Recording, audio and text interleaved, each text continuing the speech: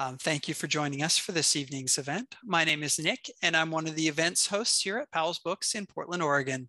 Before we begin, I want to encourage you to check out our lineup of upcoming virtual events by visiting our website at powells.com. If you don't already do so, please follow us on social media on Twitter, Instagram, Facebook, and YouTube. But today, we are thrilled to welcome Roxanne Dunbar Ortiz and Reece Jones. Roxanne Dunbar Ortiz is a historian, author, memoirist, and speaker who researches Western Hemisphere history and international human rights. She has been active in the international indigenous movement for more than four decades, and she is known for her lifelong commitment to national and international social justice issues. Whether in political debates or discussions about immigration around the kitchen table, many Americans, regardless of, of, party affiliation, will say proudly that we are a nation of immigrants. In her bold new book, Not a Nation of Immigrants, historian Roxanne Dunbar Ortiz asserts this ideology is harmful and dishonest because it serves to mask and diminish the US's history of settler colonialism, genocide, white supremacy, slavery, and structural inequality, all of which we still grapple with today. This paradigm shifting new book charges that we need to stop believing and perpetuating this simplistic and ahistorical idea and embrace the real and often horrific history of the United States. Um, Dunbar Ortiz will be joined in conversation by Reece Jones, author of White Borders, The History of Race and Immigration in the United States from Chinese Exclusion to the Border Wall. Um, and uh, this event will include an audience Q&A, so please use the Q&A button at the bottom of your screen if you'd like to ask a question. As well, if, if someone has typed a question you'd also like to know the answer to, please upvote that particular question by clicking the thumbs up button. Most importantly, consider supporting Roxanne and Powell's by purchasing a copy of her book from us. A link to buy Not a Nation of Immigrants, along with Reece's books, will be shared in the chat a couple times tonight. So Roxanne and Reece, thanks so much for joining us. Thanks, Nick. Thanks so much for, for having us. I'm really excited to be here and to have this conversation with Roxanne. Um, first, I want to acknowledge that I'm uh, coming to you from Honolulu, from the former Kingdom of Hawaii, um, unceded lands of the kingdom. Um, so Roxanne, I'm so excited to talk to you about this book. Um, as you know, we have the same editor at Beacon Press, and um, she's been telling me about this book for uh, for years um, as I've worked on my book, and she's talked about how the two books speak to each other, um, and she's wanted us to get together, and so here we are. And so I'm I'm really thrilled to have this chance to talk to you. What I thought you could do to start us off is um, to talk about this new book, um, Not a Nation of Immigrants, within the history of your other work, because you've been working on these issues of um, Indigenous rights to land. Um, you have a really well-known book, An Indigenous Peoples History of the United States. Um, so I thought you could start the conversation by telling us about that past work and how it leads to this current book project. Well, uh, thank you, Reece, and thanks for joining me in conversation, and thanks to the wonderful Powell Bookstore. And uh, welcome to everyone who's joined us. Yeah, I never really thought of um, writing this book. Um, our common editor suggested it at some point. I had in an Indigenous people's history of the United States, I had just one paragraph, not a very large paragraph, uh, just kind of, you know, discrediting the myth, calling it a myth. Um, because I, I've written, you know, researched and written and observed so much um, settler colonialism, not only in the United States, but in, you know, Australia, New Zealand, Canada, uh, Argentina, Chile, uh, Zimbabwe, South Africa, Israel, Palestine. Um, I, um, I, you know, it just seems so inappropriate to mask settler colonialism.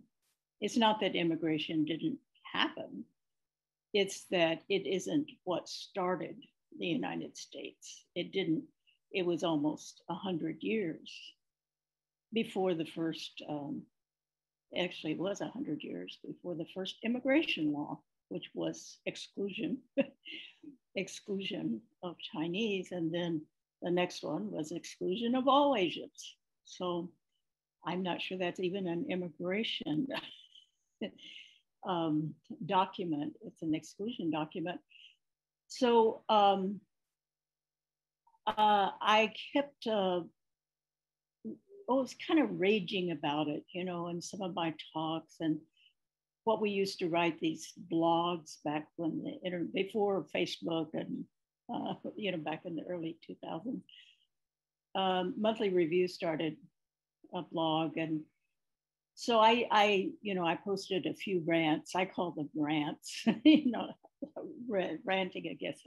And one was stop calling this a nation of immigrants. So I kind of laid out in a very short form, you know, kind of raging. And it kind of went, uh, I'm not sure we're saying this, this word viral, but it spread.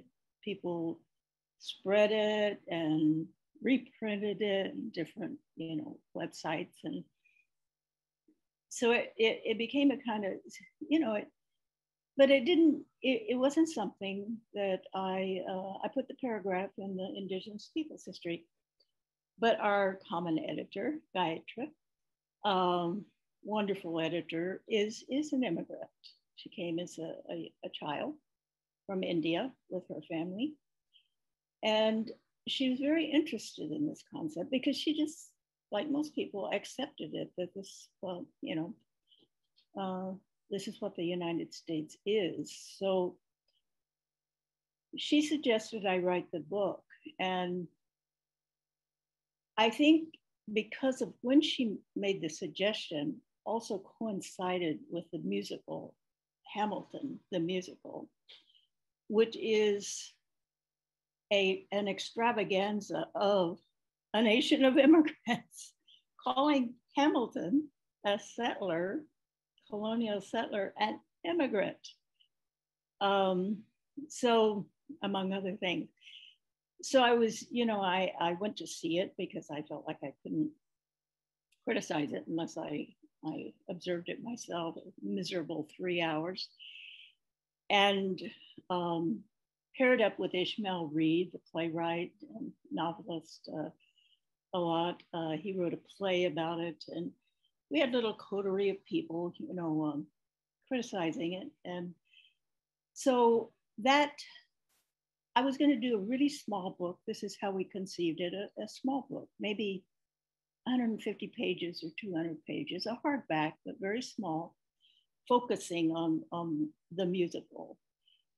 But then I started doing research and I discovered I I have to say after all of that ranting and everything, I never did research. Where did that term come from?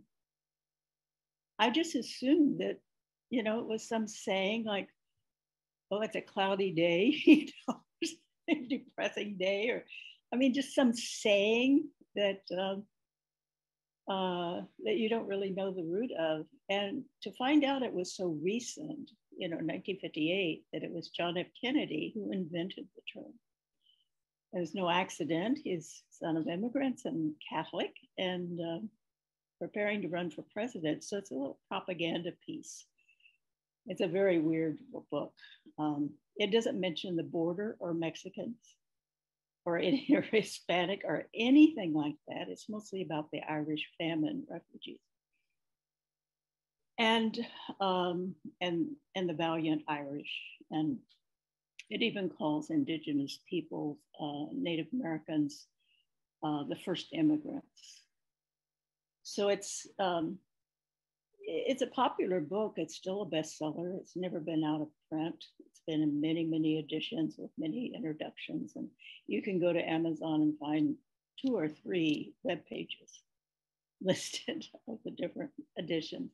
They're all the, his text is all the same, but the explanatory things are interesting too. So that that really struck me as um, as an important thing to look into. So it started going beyond um, just a critique of, uh, of the musical and the explanation of settler colonialism not being, you know, the, there were no immigrants as such until the Irish famine refugees, and they were refugees.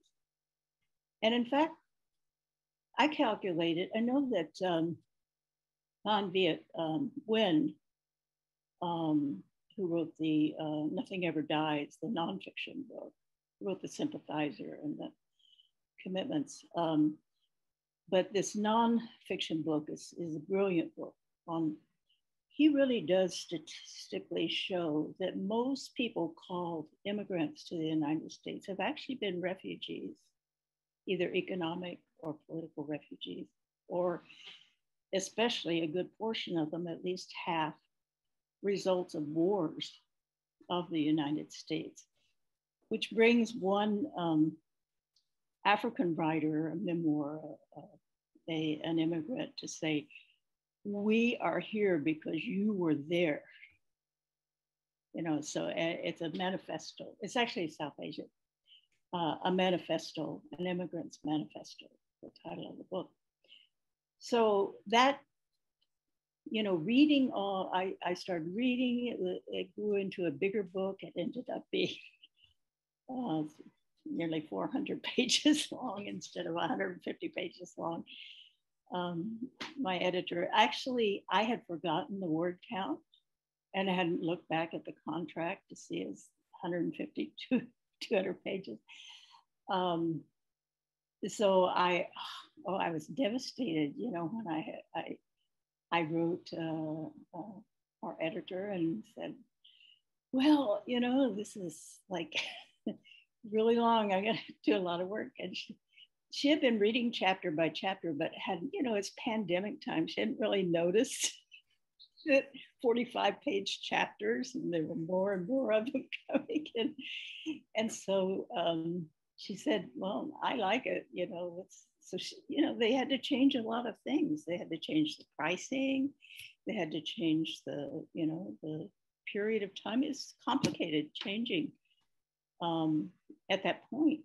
Uh, in like last November, a year ago, only a year ago. So, um, but I, I really appreciate it because I, I think everything in it, you know, is is important. It takes off on, you know, my research took me to many places um, that I hadn't planned on in my original outline. So that's kind of, and so how it fits is it, it's really interesting because so much of it was new to me. And uh, discovering this incredible archive of, of, of mostly Asian, African um, memoirs and books.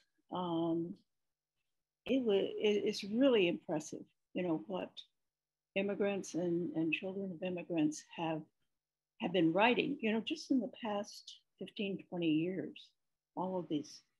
And several have come out since my book was published or since it went to press and I couldn't include them, you know. So it's I was very impressed with that. So I had access, you know, I had to do everything online. I had done a lot of the research before initially when I got the contract and you know writing the proposal. So I had I uh, I didn't really have to do anything that wasn't online, but I had to buy a bunch of books to read. Um, yeah, and buy a new bookcase. So so that's that's really how um, how it came about. Yeah. Um, so in the book, you say that the the idea of nation of immigrants, and this is a quote, erases the scourge of settler colonialism and the lives of indigenous peoples, unquote. Um, I think you know scholars and activists use the term settler colonialism pretty commonly now. But I would guess that a, a, number of people at, at the event today maybe are not as familiar with that term or could use a little deeper explanation of it. So I thought maybe a good place for you to start would be to tell us about settler colonialism and then think about how Nation of Immigrants obscures that. Yes, uh, and also enslaved Africans not being immigrants. And John F. Kennedy actually includes Africans as Im immigrants. Um, so settler colonialism is is not a new terminology, but I think it's it's come to be in use uh, in this country, you know, for identifying what happened in the United States and comparative in other places.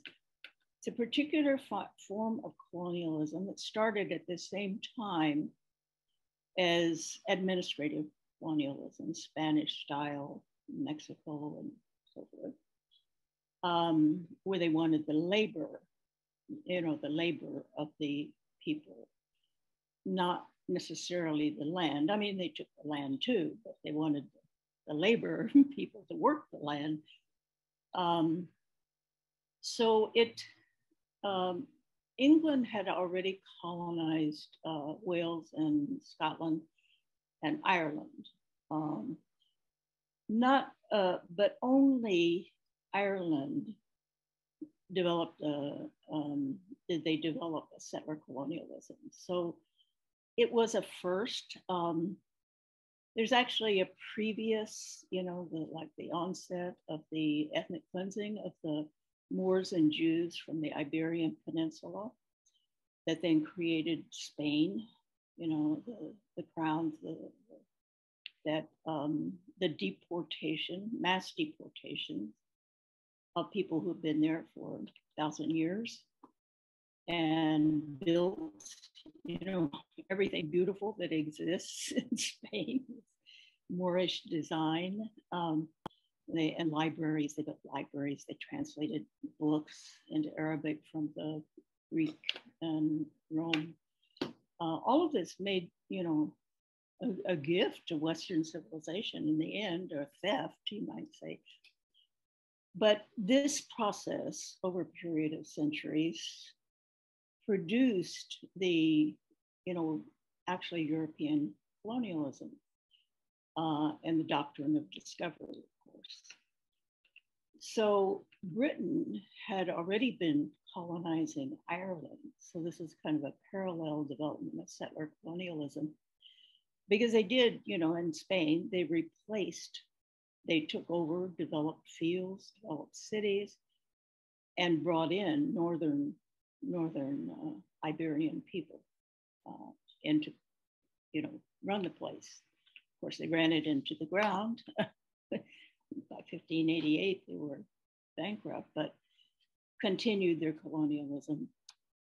But in um, Ulster, in Northern Ireland, under the Protestant Cromwell administration, they decided to uh, try to destroy Catholicism in colonized Ireland, that this was feeding resistance. You know, the, the Catholic the Catholic Church was the center of people's resistance or their inspiration. Um, so they started recruiting uh, Welsh and Anglo, but mainly Scots, Lowland Scots, to, to go in and as, as settlers, um, push the people, you know, push the Irish off their small landholdings um, into the periphery. So they had to then work as tenant farmers or day workers or starve. Um, of course, they developed the monocrop of uh, potatoes which eventually led to the famine when the Irish potato failed.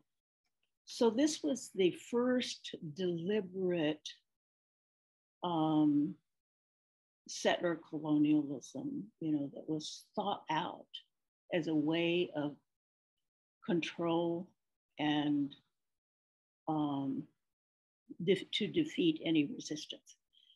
So these Scots Irish became major um, settlers also in other colonies, uh, the North American colonies, and then of course later in Australia, and New Zealand, and and Canada.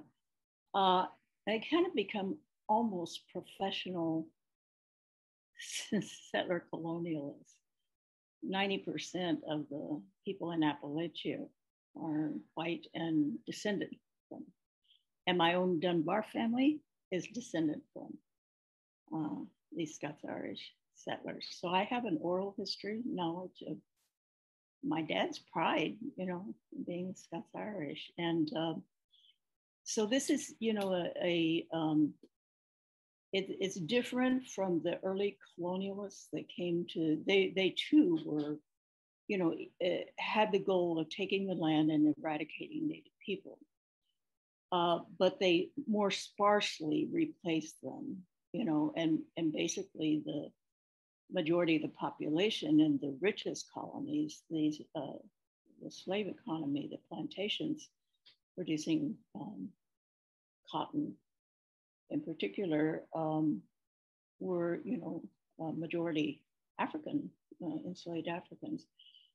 So, but not, they were not settlers, of course, they were brought in chains. so, but this, this 13 colonies were taken over a period of 150 years of violence and pushed Native people, didn't kill them all off, they pushed them into the periphery. They joined other confederations. The Tuscaroras went from North Carolina to the Haudenosaunee, joined the Haudenosaunee, the Six became the Six Nations of the Iroquois. So there was, you know, it was a disruption and an ethnic cleansing, and that became the template for the founding of the United States was to continue doing that to uh, the Pacific, to take the continent. That was enunciated in the, by the founders, their goals. And in the Northwest Ordinance, of course, it was laid out. Uh, so in that chapter, which is chapter two, settler colonialism, I go into great detail of how that worked in the Northwest Territory and the plat system of uh, creating real estate as a commodity, these 160 acres, these rectangles. If you fly over the country, you look down, you see geometry like no other place in the world. Yeah, absolutely. Um, the I think you do a great job in the book of kind of illustrating how that process happens and the impacts of it, um, and in your your previous work as well. Um, so the term nation of immigrants, right? This this is a phrase that is I think you know baked into our collective memory at this point, right? It's something that is just part of who Americans think they are. Um, you know, the, the Biden campaign, their immigration policy is titled the Biden plan for securing our values as a nation of immigrants, right? Um, right. So it's it's this phrase that is just so common these days. Um, but in the book, you talk about how it's really in the, the late 1950s that the phrase comes into being. And so maybe you could talk a little bit about why it happens then um, and, and how it so quickly becomes such a common sense way of understanding the history of the country.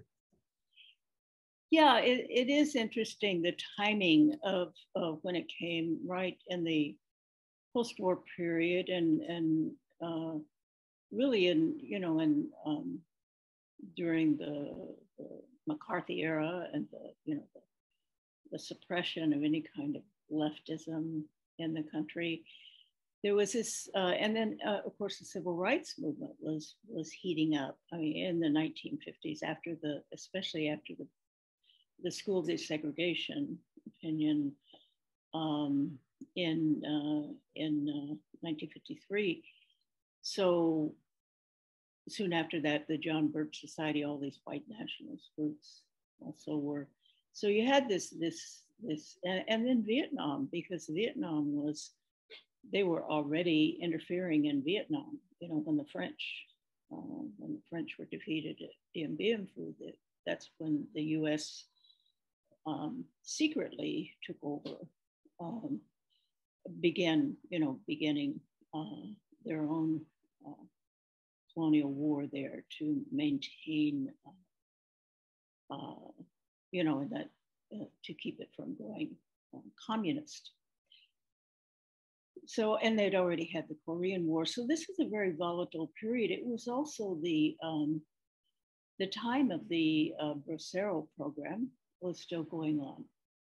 Uh, and it, it really was stunning to me that in Kennedy's book, Nation of Immigrants, that he seemed unaware of the Bracero program. Are just blind. Uh, there's just no Mexicans and no border in this in this book.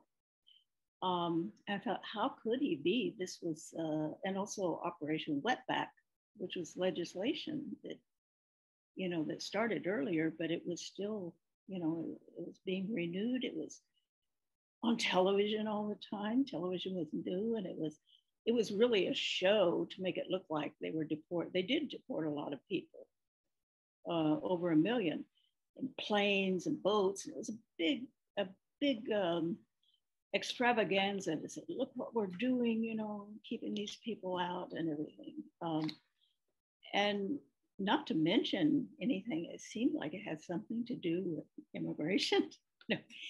so um, I think it was, uh, you know, that kind of stunned me. But on the other hand, I thought um, at that time, um, people probably were, and Kennedy probably was aware that this wasn't really what they meant by immigration because they didn't consider, they still were, you know, focused on uh, European immigration. They had opened it up to Eastern European, Southern European uh, in, you know, in the 18, uh, in the, during the Industrial Revolution, in the 1880s but those first laws were all exclusion, exclusion, exclusion. And then in 1924, they excluded even, you know, the, the, they put such quotas no Latin Americans, no Caribbeans, no Eastern Europeans or Southern Europeans. They put, just put the cap on it. And only Western Europeans could really come. And they deported nearly 2 million Mexicans um, in. Uh, during the Depression workers. Uh, of course, they they never did. There were so many undocumented. What it did, what it, the effect it has, the threat of deportation, the cruelty of of the border is to create undocumented workers who then have no rights, no path to citizenship, and can be abused and can be exploited and when the border was open, uh, they could go back and forth. It was purely to support their families at home. But then, as you know, as the border uh, became tightened, increasingly they couldn't go back. They're stuck here. So, uh, at any one time, there are tens of millions of undocumented people. It's not certain that the majority are necessarily Mexican or Central American. There are a lot of Irish, undocumented Irish right here in my neighborhood in San Francisco, but they're never deported, you know, are never questioned. Um, so I think um, the opening, I think one thing that Kennedy, as child of immigrants, he had a consciousness about immigration and started working on a new immigration law that did he was then assassinated and it took effect under Johnson in 1965 that opened up the quotas to um, the rest of the world, uh, increased them tremendously. So that's when we began having more South Asians, uh, Chinese could come legally finally. Up until that time, they were excluded. All Asians were excluded completely. So everyone who came was illegal, was undocumented and contingent and, you know, and uh, subject to deportation. When workers were needed, you know, they were tolerated, and then when not, they're they're deported. So it's such a, and I know in your book, uh, your underlying thesis, you know, is the inherent racism of the uh, of the um, uh, U.S. immigration policies and practices. That is so, of course, in the whole society that you know structurally racism and racial capitalism is so inherent. But I think a lot of people don't think of immigration in that way. So I think your book really contributes enormously to uh, a deeper understanding, you know, of, of these what seem like normal normalized practices that I mean everyone got all upset when Trump started openly doing what every other president had done. And and and the one right before him Obama you know had, had deported more people than Trump got around to doing because he had 8 years to do it. Uh, so and now we see same thing. That's a one consistent thing with every administration. It doesn't change. So I actually wondered what you uh, think about that. I mean, yeah, yeah, absolutely. I think um, I think that's the place where our two books really kind of complement each other because um, in your book you're talking about the kind of the the forgetting of this settler colonial history and then kind of hiding it behind this notion that the US is this country of immigrants. Um, what the story I tell in White Borders is to, to pick that up with these immigration laws that you're talking about, right? So to, um, to think about, because you're right, that I think most people seem to just assume that it's normal for a country to have immigration laws and it's something neutral that countries do. Um, and what I argue in the book is that the history of US immigration laws is not neutral at all, but rather there's been a very particular purpose behind all of the laws that we've seen. Um, and it's, it's been protecting an idea of a white country. Um, as you've talked about, the first national immigration laws are targeting Asians and Chinese immigrants. Um, the 1924 law has strict limits on um, most groups of people, even Southern and Eastern Europeans, right? Um, and you, you kind of suggested that the 1965 law allowed more diverse immigration, and it did. But if you look at the debates leading up to it, that was not their intention, right? The um, the, the the intention at the time was to keep the same demographics of the country, but to just get rid of the kind of overtly racist national origins quotas right. from 1924. Um, it's it's almost by accident that it produced more diverse immigration. Um, but in the debates leading up, they were trying to take steps to avoid that right? So, um, for example, the 1965 law has a lot of visas for family reunification. Um, and if you look at the, the discussions at the time, the idea was that that would produce a lot of white immigrants to the country because the US was 90% white at that time. And so the idea was, in their thinking, that the people applying for family reunification visas citizens asking for their brothers or their mothers or their, their siblings to come um, would mostly be white. And so that it would produce a 90% flow of white people continuing to arrive in the country. Um, it didn't work out that way, but that was not the intention at the time, right? So even that law that's produced more diverse immigration was certainly based in a, in a white supremacist version of who belongs in the US. Um, so um, yeah, I think that, that there, there are a lot of overlaps and kind of the end of my book what I talk about is um, to think about why the Trump era happened when it did. And I, I look at the figures behind the scenes. I talk a lot about the Tanton network of anti-immigrant groups um, that brought this anti-immigrant um, perspective back into the mainstream and the public discourse in the US. Um, so maybe you can before I ask you another question, I just want to remind the audience that in a few minutes, we're going to take some Q&A from the audience. So be sure to use the Q&A um, uh, function to, to put your questions there and we'll I'll pose some of those to Roxanne in just a minute. Um, before I do that though, Roxanne, in a couple of different chapters in the book, and I'm going to give you an option of who you want to talk about here. Um, you have a chapter that is about Alexander Hamilton and kind of talking about the, the reframing of his history as an immigrant history. Um, you have another chapter about Columbus and kind of the, the effort to make Columbus an American hero and kind of a symbol of Italian American identity. Um, maybe you, you could talk about both of those, or maybe there's one or the other of those stories that you want to tell us now. Well, yeah, the, the Columbus chapter really evolved because it's the chapter really on um, Eastern European and Southern uh, European immigration.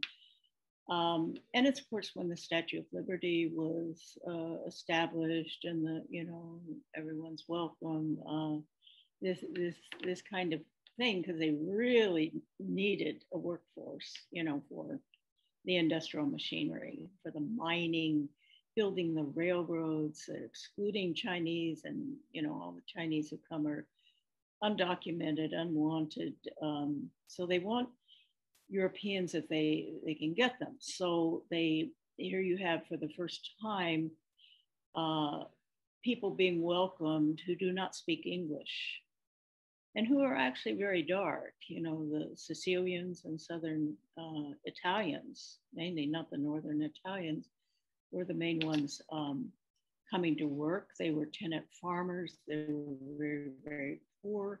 Many of them wanted to come and make money and go back to buy a piece of land, you know, and be real farm, you know, have their own farmland or sending money back. I mean, they were not, you know, the American dream mythology uh, coming for the American dream. They were treated very badly. Uh, so one way that, uh, and then there was the, well, they were Catholic too, and the Eastern Europeans were Catholic and Jewish. Uh, so here was new languages, different people, different languages. And so uh, the, how Columbus got um, instrumentalized, it always been this, you know, they, to my surprise, I did not know this before, but I ran onto it in a book. I, wow, I didn't know that. That the founders, and they're quoted, you know, that um, actually uh, debated naming the United States Columbia.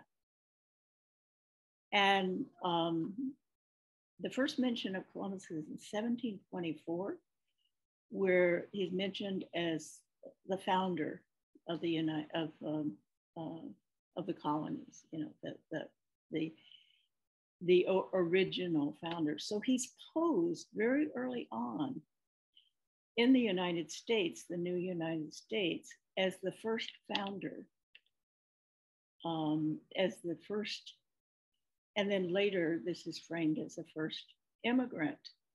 And this is then presented, uh, especially to the Italians, uh, that as, as their forebearer, that they are, they are descendants not only of Catholicism, you know, the Catholic uh, Columbus, which, you know, is a very, there were extreme prejudice, is a very Protestant country and extreme prejudice against Catholics. It really went up into the mid, you know, until we got the full Supreme Court of Catholics. Uh, it's really changed. But the Catholic Church in the process was also Americanized patrioticized. You know, it it's a very interesting process. It starts with instrumentalizing Columbus as the first founder, as the original founder of the United States. Um, so that surprised me how far back the Columbus myth went and reverence. There's statues of him all over the place, you know, even um, uh, even in the 18th century. So it, it's, I thought it was something fairly new, you know, the, the, the sons of the, um, uh, that was invented, you know, kind of as a, to give to the Italians. But, but it did, you know, it, it Italians took that uh, as, as an identity, as being indigenous. You know, I talk about self-indigenizing of settlers and how immigrants become settlers in that way through, in, in the case of the Italians, and other Catholics, Irish Catholics and Polish Catholics and Czech Catholics, German Catholics. They, you know, it's a double, a, a double inheritance that in that way they come to be see themselves as original people not immigrants but settlers and I think how the Irish do it, you know, in my long chapter on, on uh, Irish, um, is is really becoming the police. You know that they just happened. The Irish refugees came at just the time when they're building, they're developing modern police forces, what became modern police forces in the big cities in New York, Boston and Philadelphia. And at first, the Irish had a lot of gangs, you know, and the movie Gangs of New York really, uh, I think, did a good job of, of portraying that. Um, but they they were fighting these new police, you know, and um, uh, then they would get recruited, and then they would recruit other people from their county, and uh, you know, people Irish identified with the counties in Ireland and their clan.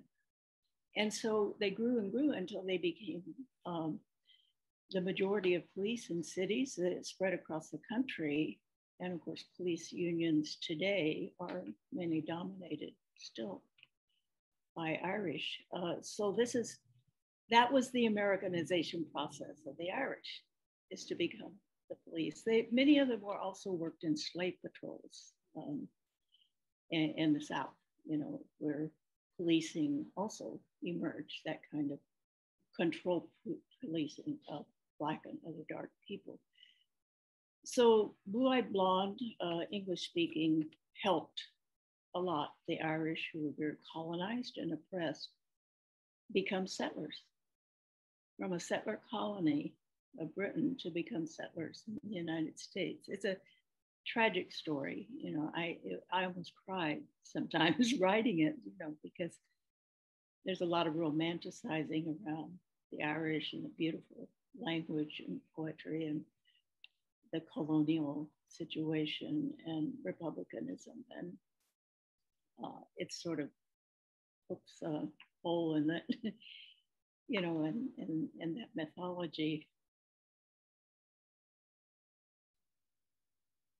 yeah, I think that leads into the last question I was going to ask you before we do some of the, the Q&A. Because um, in the conclusion, you talk about how the project of settler colonialism is ongoing. Um, you, you write, quote, one of the unspoken requirements for immigrants and their descendants to become fully American has been to participate in anti-Black racism and to aspire to whiteness. Um, so could you tell us a little bit more about that?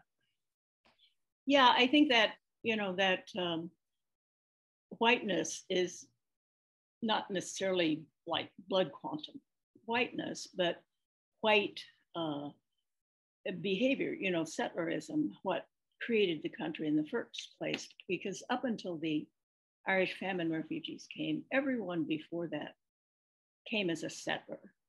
You know, they didn't flee anything.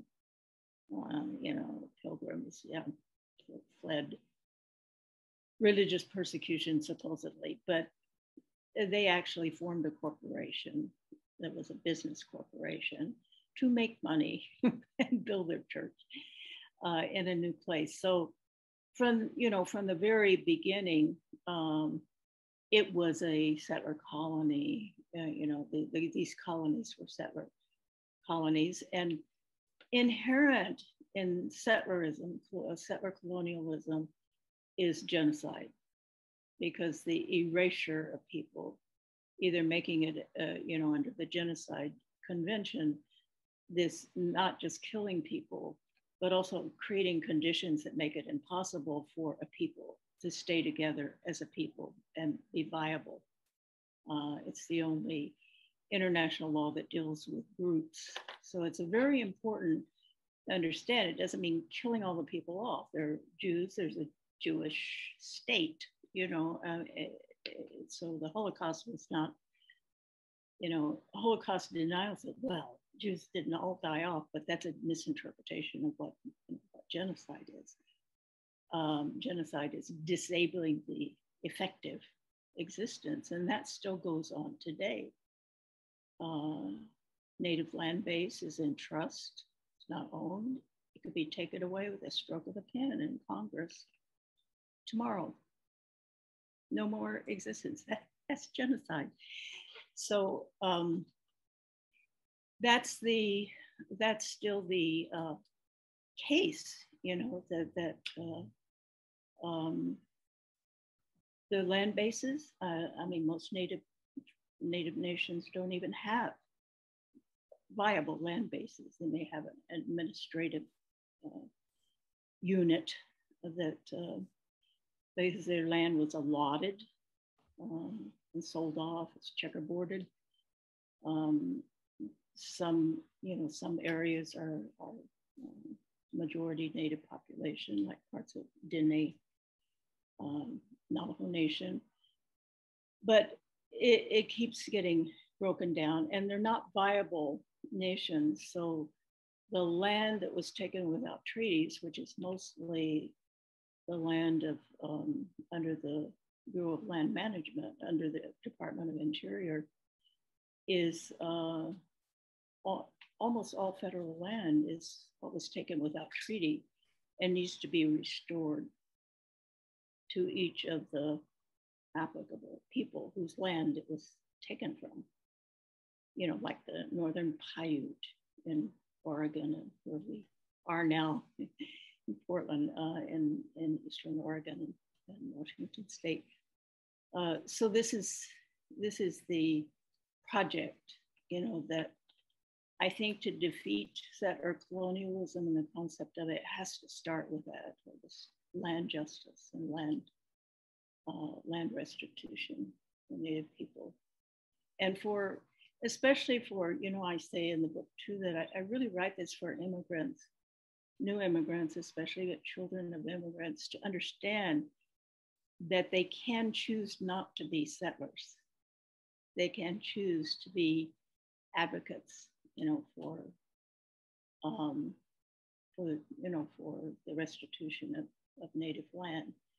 And I think in Canada, there's a lot more consciousness of that. There's a lot more work done between immigrants, thanks to Harsha Walia mainly, um, in building No One is Illegal and South Asian immigrant family um, having, you know, building these links with Native people and having solidarity struggle. So that's um, that's hopeful. We have nothing like that in the United States right now. There's almost no relationship from immigrant organizations and Native organizations. Yeah, absolutely. Harsha Walia's work is is really amazing. We had her here to the University of Hawaii a few years ago, and it was a, a really great talk. And she's doing um, great things. She had a book that just came out earlier this year, in fact.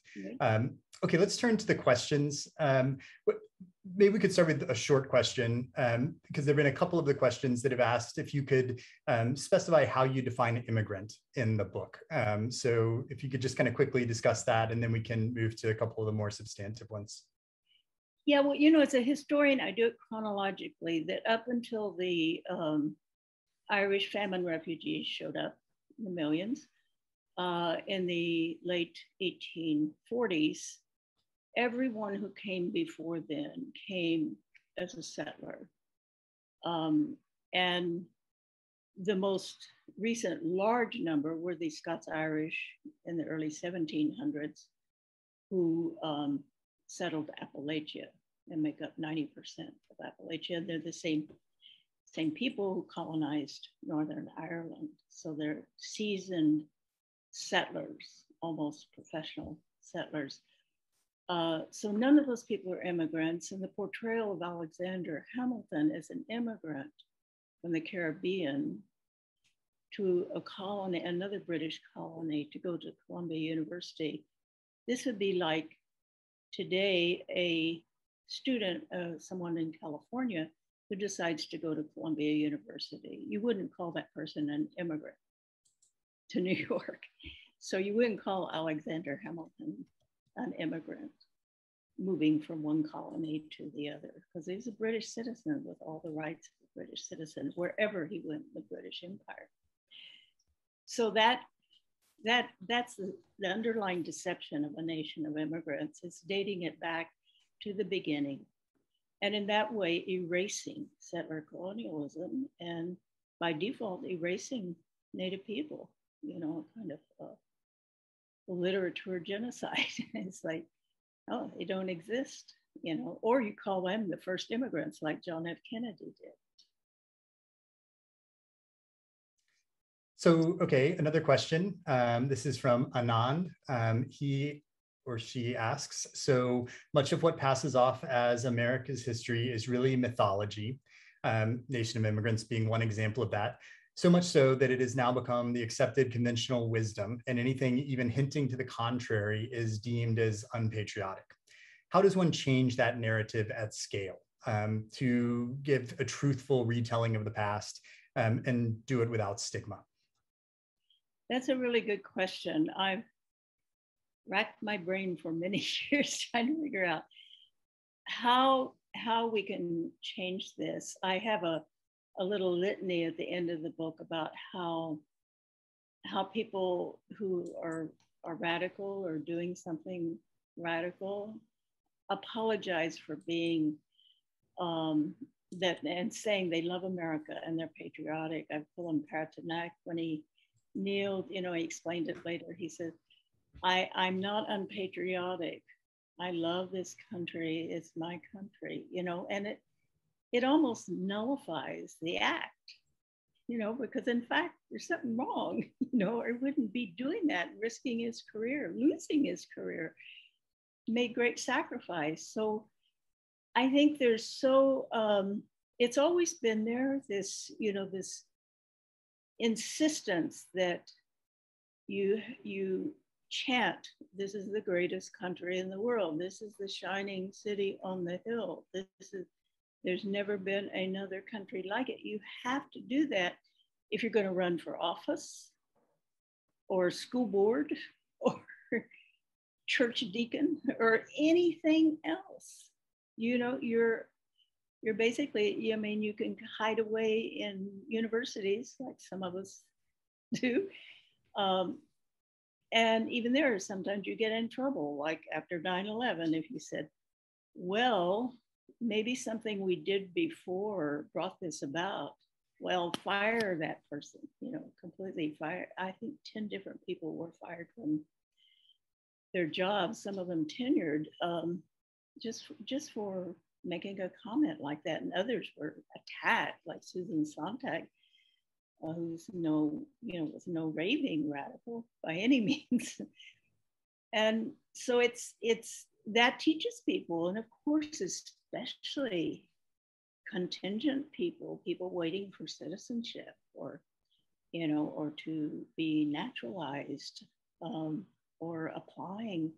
Um, this is, you know, uh, scary. Uh, and so this intimidation, and then it was really ramped up during the McCarthy period, you know, of questioning people's, you know, are you a communist? Have you ever been a communist?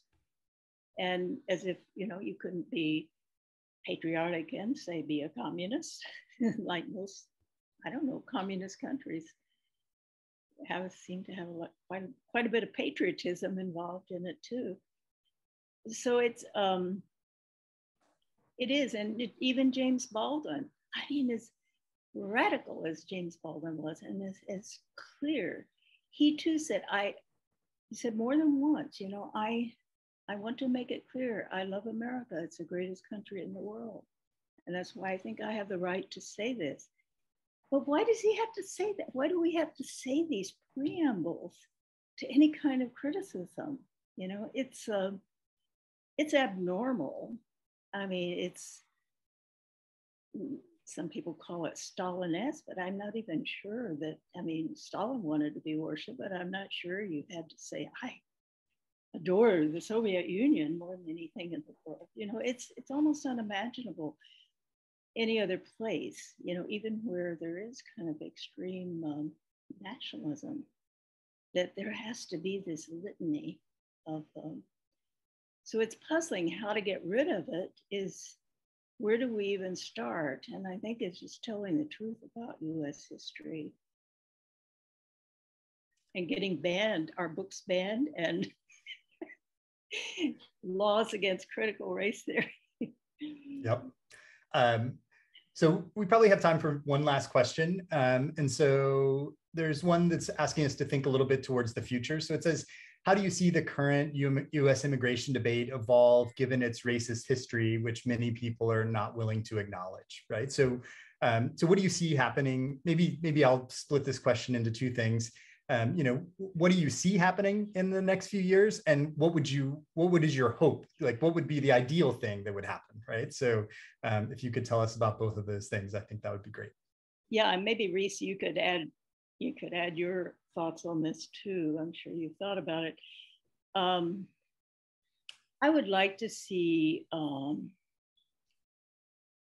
an open border at Mexico, the open Mexico US border. That, you know, stealing hat through war, vicious counterinsurgency war, to take the northern half of Mexico.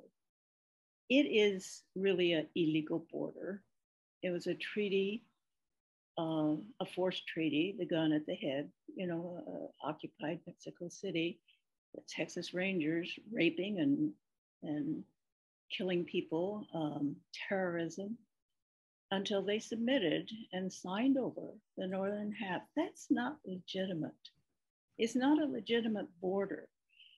And so that that's what I wish and that's what I hope. We listen to people, the no borders people, and no one is illegal. Um, and, and really develop a mass movement around it. At times we've had larger, you know, stronger movements. Uh, back in the 1960s, the Chicano movement made great strides in creating a more open border. And it's just, especially since 9 11, you know, they've used that terrorism. Not, I don't think a single so called terrorist has ever been detected on US borders.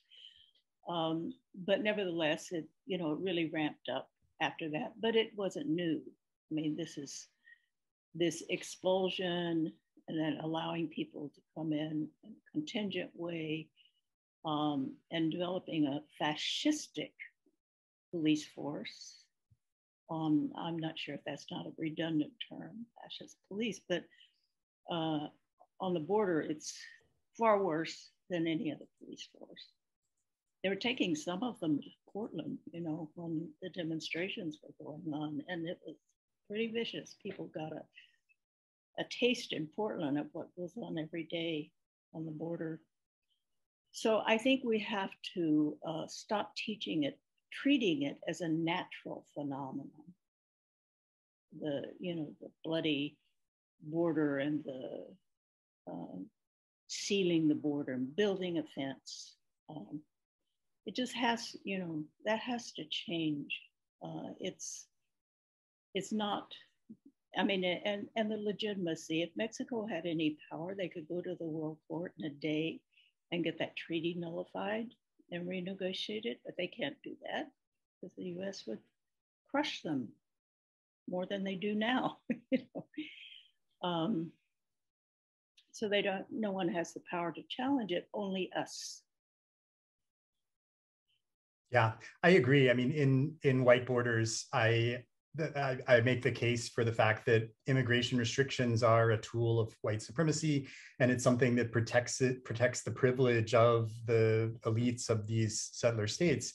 And so, if you are against those things, you should be against border restrictions um, because that's the purpose that they've served over over a hundred years. And so, really, we should be working towards a world where there is freedom of movement, um, and the state isn't the arbiter of who has the right to move. Um, so um, I think we're we're on the same page there. So um, so we've we've used up our hour. This has gone really quickly. Um, it's been really great talking to you. Um, thank you so much. Um, I don't know if you have a, a last thing that you want to say, but I'll I can also turn it back over to uh, to Nick if if you're ready, Nick.